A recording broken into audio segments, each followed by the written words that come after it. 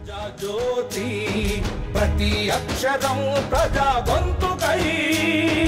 ప్రజాజ్యోతి ప్రతి గొంతుక సింహ గర్జనై గత కొన్ని దశాబ్దాలుగా ఎంఐఎం పార్టీ బడుగు బలహీన వర్గాల ప్రజలకు అండగా నిలుస్తోందని ఆ పార్టీ జిల్లా ఇన్ఛార్జ్ ఫారూక్ అహ్మద్ పేర్కొన్నారు.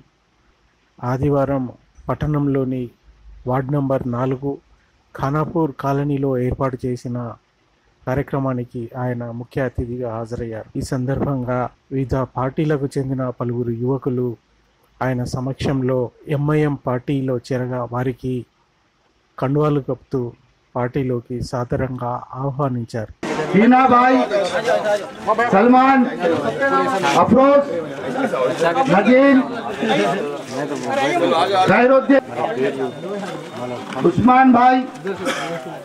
آکاش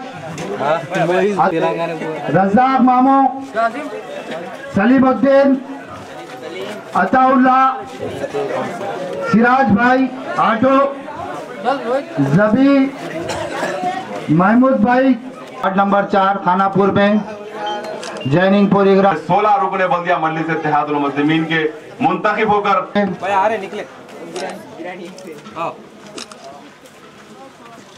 ساتھ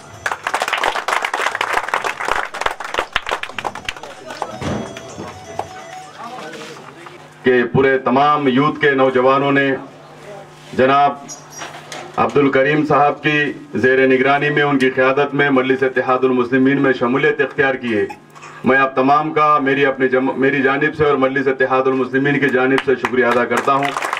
اور آپ کا خیر مقدم کرتا ہوں۔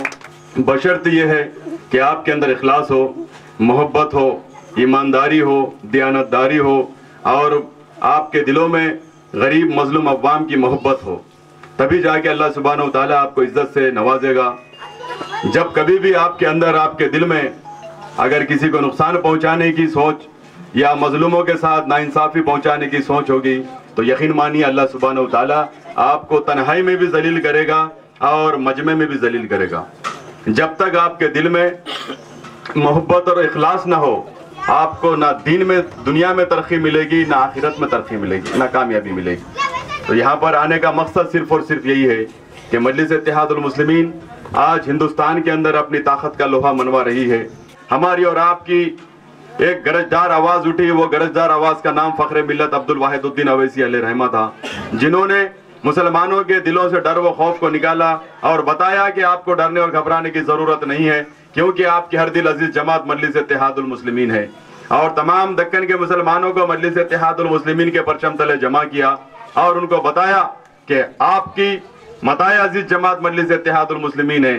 اور اس تمام پرشب دور کے اندر مجلس اتحاد المسلمین کا انیس سو اٹھاون میں احیاء عمل میں لایا گیا۔ చూస్తూనే ఉండండి ప్రజాజ్యోతి ప్రతి اکشرم پراجہ కోసం